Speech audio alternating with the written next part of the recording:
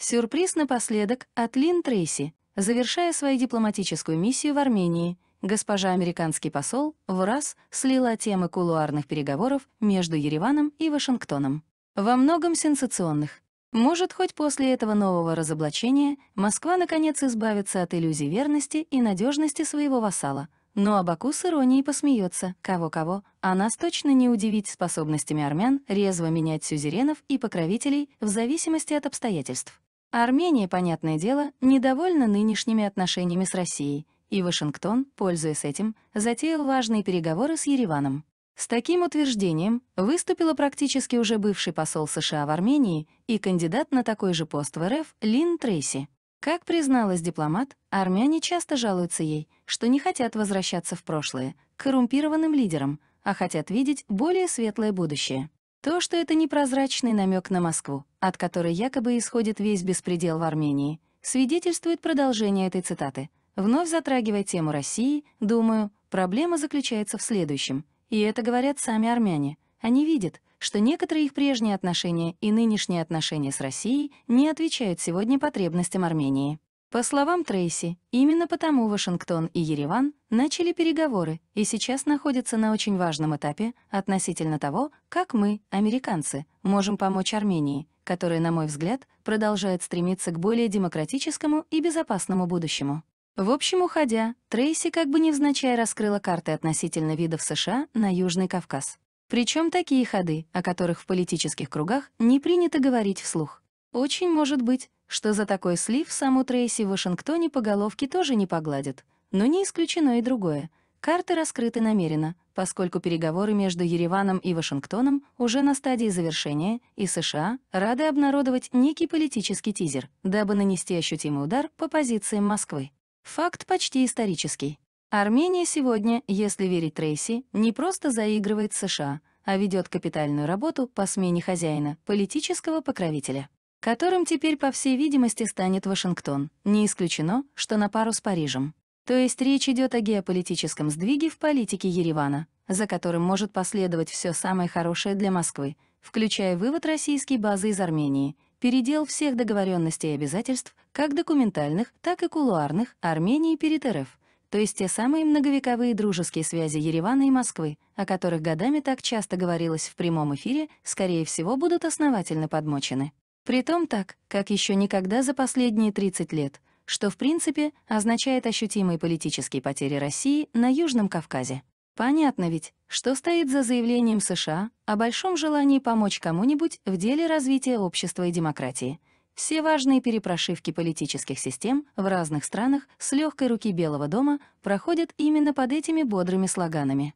Вообще-то приметы того, что озвученные Трейси процессы начались не сегодня, отчетливо просматриваются по контексту армяно-американских отношений последнего времени.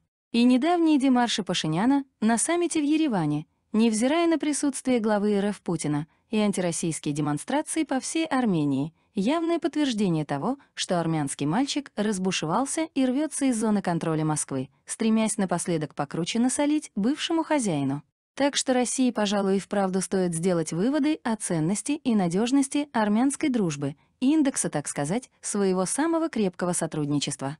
Все, что можно ждать от Армении, более чем наглядно — как только на горизонте запахло жареным, и стало ясно, что РФ сейчас не в состоянии удовлетворять запросы армянских друзей, они решили поскорее ускользнуть из-под ее покровительств.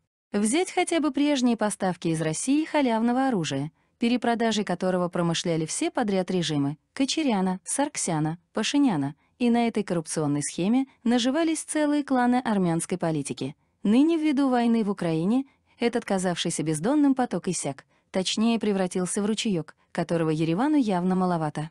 Нет, Россия продолжает помогать Армении в самых разных областях, как никому другому. Это и активная популяризация армянских интересов в медийном пространстве России, и глобальная работа в целых секторах армянской экономики — энергетическом, транспортном.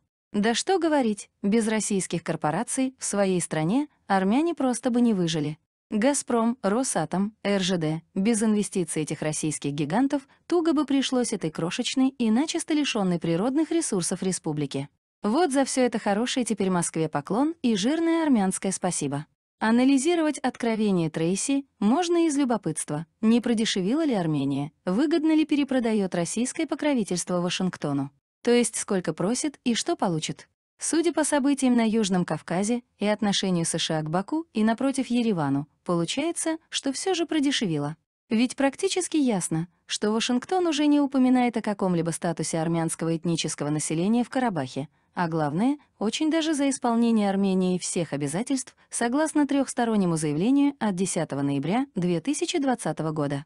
Но даже если бы Армения продавалась задрово, Вашингтон все равно бы учитывал, что на другой чаше весов Азербайджан и его требования к Армении, за выполнением которых бдительно следят весьма заинтересованные в сотрудничестве с Баку такие его партнеры, как Турция, Британия, Израиль. Кроме того, для США на фоне геополитических осложнений с Ираном сейчас гораздо важнее армян хорошие отношения с Баку. И все вышеперечисленное — тот спектр интересов, от которых Вашингтон не откажется ни на йоту, как бы там ни извивался и задешево продавался Ереван. Да еще вопрос, что с Ереваном будет делать Вашингтон, когда такая сделка теоретически состоится, и Армения со всеми ее потрохами окажется в тисках США — ведь нет никакой уверенности, что завтра Вашингтон, как жестокий отчим, не начнет продавливать в отношениях с Ереваном то, о чем вчера даже и не договаривались. Как показывает история, в отношениях с Баку такие игры не проходят, а вот с Арменией, которой просто будет уже не на кого положиться и кому пожаловаться, в силу слабой харизмы ее политики, такие методы неплохо пройдут. И тут могут начать работать уже совсем невероятные для Еревана методы выкручивания рук в угоду интересов.